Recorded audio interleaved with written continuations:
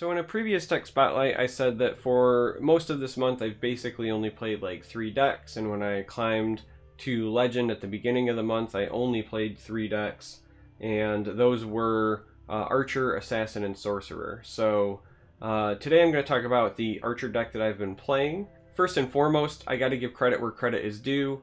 Uh, this list is very much inspired by Warriors 7 and his Archer list. Uh, he was playing Archer at the end of last season, and I played against him a few times on the ladder.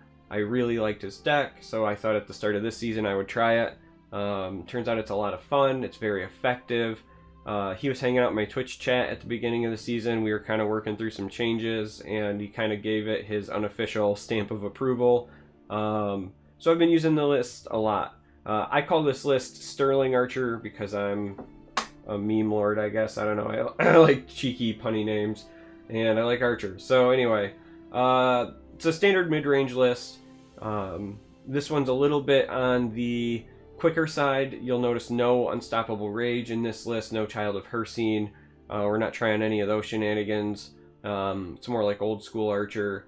And it really is just about like tempo and controlling the board, specifically the field lane. So how do we accomplish that, right? Well, uh, in the early game, your two best friends are Mournhold Traitor. Because of his big body, he can trade very effectively with smaller creatures. And Goblin Skulk, because Skulk it finds curses, which sets up favorable trades. Um, if you don't have to play the curses, it sets up Leaf Lurker and other things later. Um, Goblin Skulk might, in my opinion, just be the best two drop in the game. He's a very high priority kill target. There will be lots of games where you play him and he just dies, but those games where he doesn't die, he probably just wins you the game. So uh, those two are fantastic. Um, the rest of it is, again, like tempo-oriented stuff, right? So uh, Earthbone Spinner is a body and a great effect and sometimes kills things. Um, Leaf Lurker, typically a body and kills something, right? So you are setting your opponent behind while also developing your board, and that's kind of the theme. Um, Murkwater Shaman doesn't do anything immediately, but much like Goblin Skulk, if Murkwater Shaman survives uh, for like any length of time, you probably win the game. Um, you will definitely win the game against aggro decks. I mean, unless they had a blazing fast start, uh, Murkwater Shaman can like single-handedly shut down aggro decks. Um, he's pretty fantastic. And uh, the end of the game, right? So this deck actually runs a fair amount of reach. Uh, we have Cliff Racer. We have Underworld Vigilante, which I use as pseudo removal specifically for the Shadow Lane, but it does provide additional reach. We have Tazkad. And Morkul Gatekeeper can also help provide additional reach either on your chargers or just on other creatures. Um, so that's why I still include him, and the Guard Prophecy's nice as well. And uh, yeah, the last bit is uh, just st other standard tempo stuff, right? So uh, Allena Benoch, uh, much like I was talking about earlier with the other creatures, is a uh, removal and a body on the board. Uh, very frequently a two for one. Uh, with all the control mages running around, she's actually been pretty good for me because she will chew through guards and let me continue to pressure. And Belligerent Giant. Belligerent Giant is just belligerent. This is also one of uh, the better cards in the game right now. It's a huge, huge swing. Um, if you can set back somebody's like Night Shadow or set back somebody's um, you know, other large target, uh, like their Vigilant Giant, like yeah, they'll get to draw a card again, but they have to basically like redo their turn, right? So any big threat where they're spending the majority of their magicka, if you are bouncing that with Belligerent Giant, you're getting, you know, again, more bodies on the board, and in that case, a very threatening body, and you basically made them have to retake their turn, right? Like, that is huge. So, we obviously run Belligerent Giant. Um, yeah. Fight for control of the field lane, it's really important. Um, that's just, like, standard play anyway and uh, don't be afraid to grind out your opponent. So like this can be very aggressive, but because of the presence of uh, Triumphant Jarl, uh, you do have the ability to play an attrition game. Um, the biggest thing that hurts you is there's not like a way to gain life, but beyond that, you can feel free to play it as a control style uh, if your hand isn't up to snuff for being the aggressor. Um, you almost have to, in the mirror match, for example, if you don't get the ring, you almost have to play it as a control style unless they just have a bad opening hand. Um, so in those cases, just focus on fighting for control of the board, and then when the tide has turned, then go aggressive. Um, I've had a lot of success going first with this deck, even in the mirror, um, just by changing my playstyle. So, uh, yeah, this is one of the decks I've been playing. It's a lot of fun. I really enjoy it. Uh, I said it earlier, but I want to do it again. Special shout out to Warrior 7 uh, for helping with the list. As always, I'm going to end this with uh, showcasing some games. Uh, these are me playing on stream this deck, so I hope you enjoy them. Uh, as always, I really appreciate everybody watching the videos. Uh, until next time, may you walk on warm sands.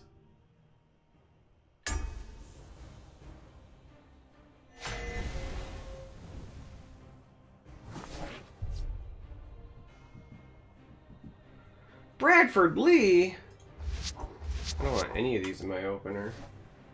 And he's got the ring. Ick.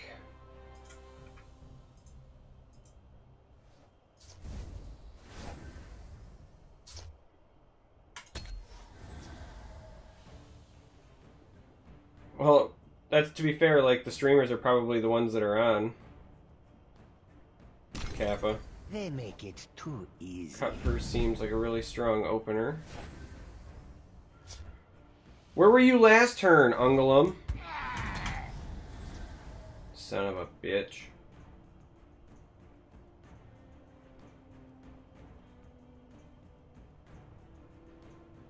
Cause it has had enough. Easy.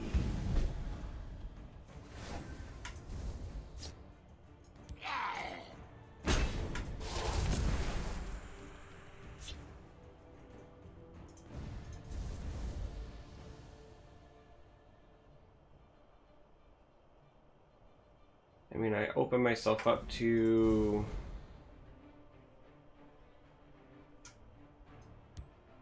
Let's heat things up. I'm eating my guy here, but... Yeah, except for I almost never draw my assassins. In fact, I had a night where I played... Oh, that really sucked. I had a night where I played against Bradford Lee. Um... God, what was it? I played against Bradford Lee five times in my first 11 games. In all five games, I played Ungolim on him, and I didn't draw a single assassin. Like, it was that bad.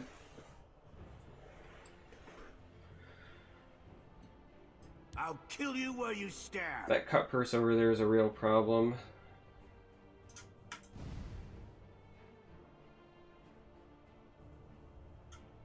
I'll kill you where you stand. Close ranks. Let nothing through. The Night Mother will guard. I guess I have to do that. I wanted to Skaven over there and swing, but I can't, because then that goes to a 5-5, and then I can't even Cliff Racer it, which means I'm taking 9 from it before I can even Alina. Whereas at least this way now I have Ungolim and can Cliff Racer properly, right? Like, it's not I'll ideal, kill you but... where you For the Black stand. Hand.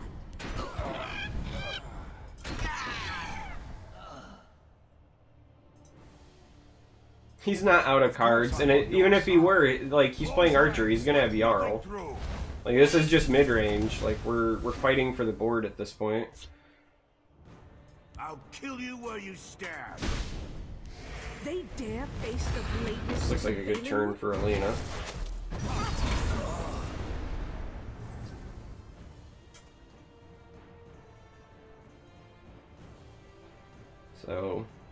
Belligerent Giant comes online now for him. He does have the ring.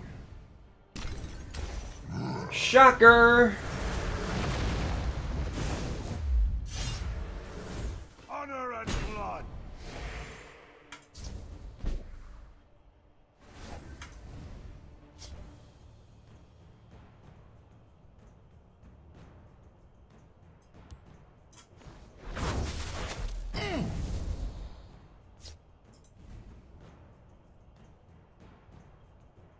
For Valen.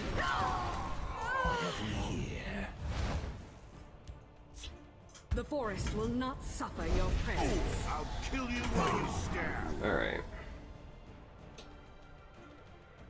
We must protect the Night Mother. Alright, Garnag's annoying, but not the end of the world.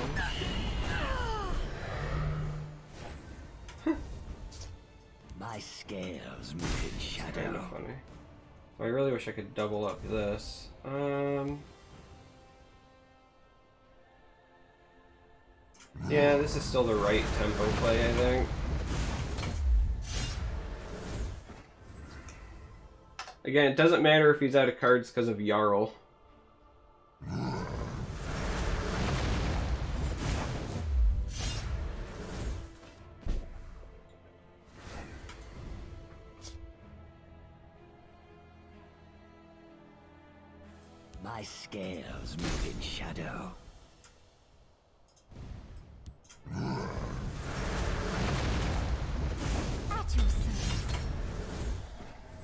Guess we'll keep doing it until we can do something else because the alternative isn't that great. He's just buying time, but we don't have an answer for it. So. Yep, he's gonna do it again.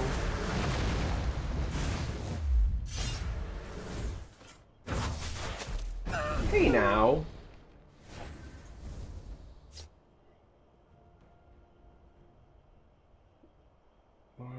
One, two. My scales move in shadow.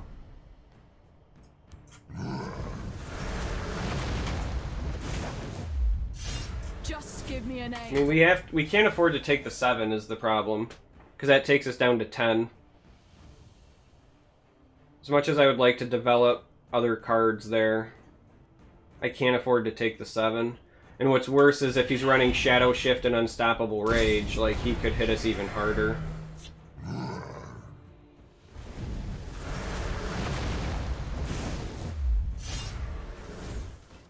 See, now we actually have an answer, so.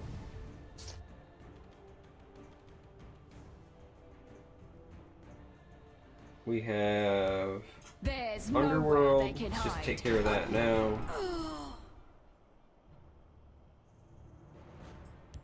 Let's heat things up. It's nothing personal. My scales move in shadow. Just give me a name. Alright.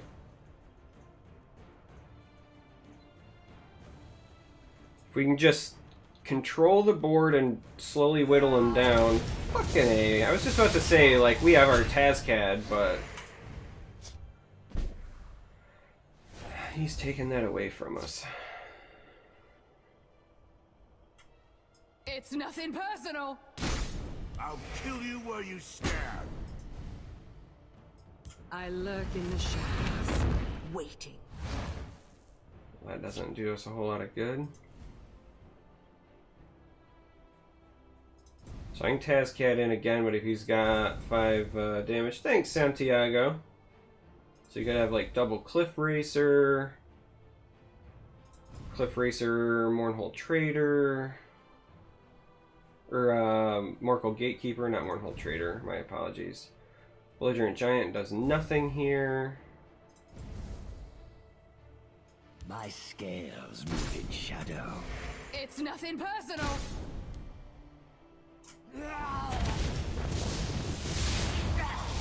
Of course I'm on your side.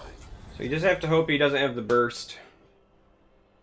If he has the burst, then uh, we lose.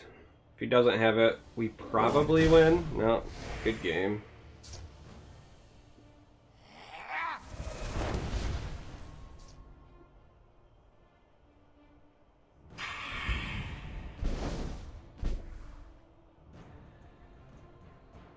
We might have just caught a break.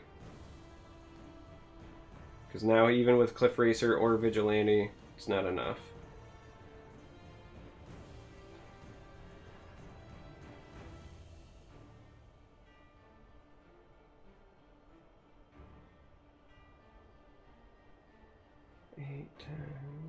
Even if we dive that there, we're not risking too much. There's nowhere they can hide. The hunter becomes hunted.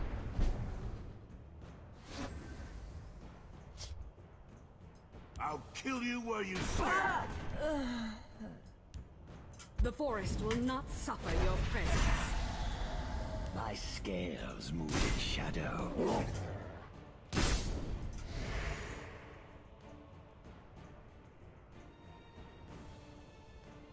Close ranks. Let nothing through.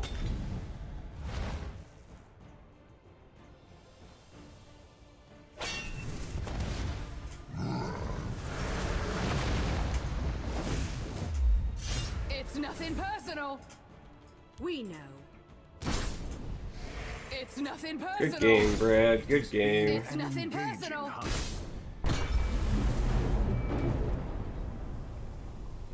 That was a belligerent giant war.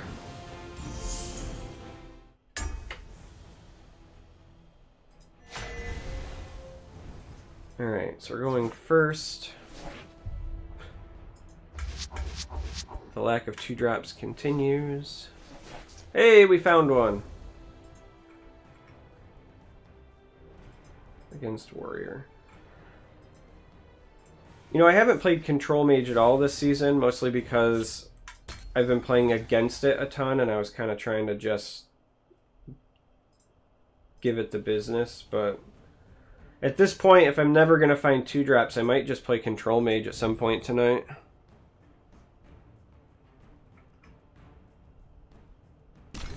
If Warriors was still around, I would ask him if he was still playing that Wisp Mother Control Mage or not.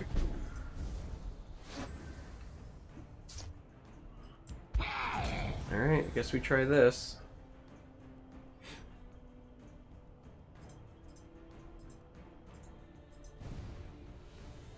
It's a mid-range mirror and we're behind on tempo again. Too late for you. Spell sword good? No, spell sword's pretty bad right now, unfortunately. This guy's bane of my fucking existence lately. Just give me a name. Yeah, unfortunately, spell sword is just not very good right now. End of the road. Too late for you.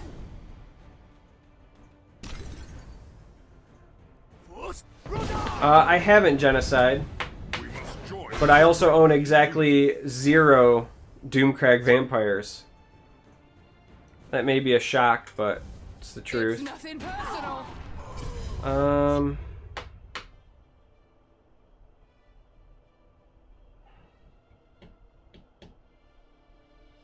I think we have to do this to set up Leaf Lurker next turn because that guy's a big problem. Uh, Matthew, Matthew Biggers, thanks, mate.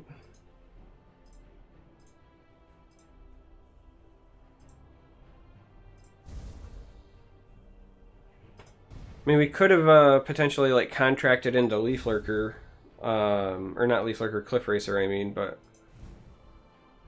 it's basically you just four damage, and then next turn I still have to play this to then set up Leaf Lurker. So we might as well just do it now. Save the reach. Try to be responsive. We stand. We're still technically playing from behind at the moment, so I'm ready for anything. well, that's a problem. We were fine until that. Close ranks. Let nothing through. That's actually going to go there. It's going to go there because...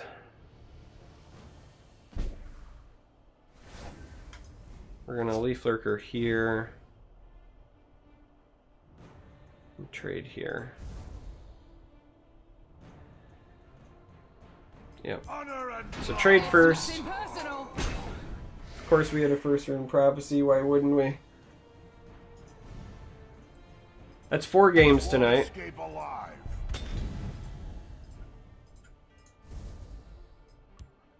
The forest is my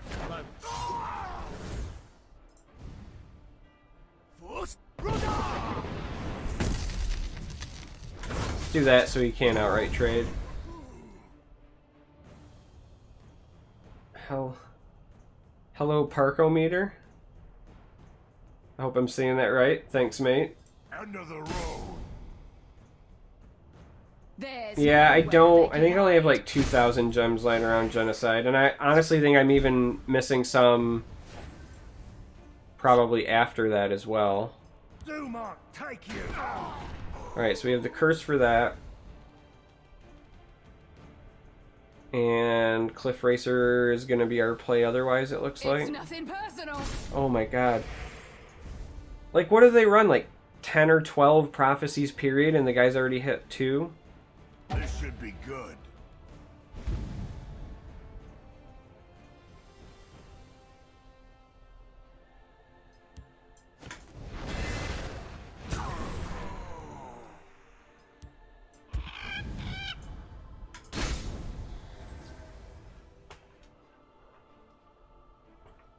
You're still here, Tavares? You didn't fall asleep?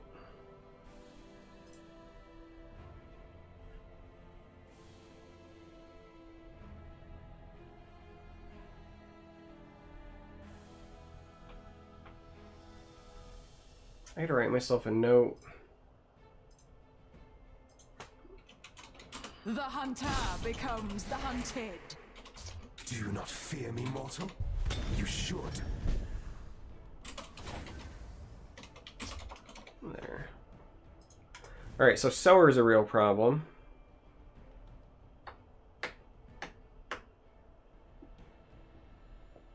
Sower is a real problem indeed. Dumont, take you! The forest is my cloak. Probably heading out in the next five minutes. Fair enough. It's nothing personal. Didn't mean to mute him. I mean, we have to take this out. Like, I can't. Of course, I'm on your side. Alright. If he's got two drop in Wood Orc, we lose. Which wouldn't be that much of a shock, if I'm being honest. Just because we've had to beat through a couple of prophecies already. Uh, that actually might have sealed it for us. It's nothing personal. Because now even if he hits like a defender... Didn't see this coming, eh? Oh, we didn't need it, but holy shit. We did it, gang! Feels good, man.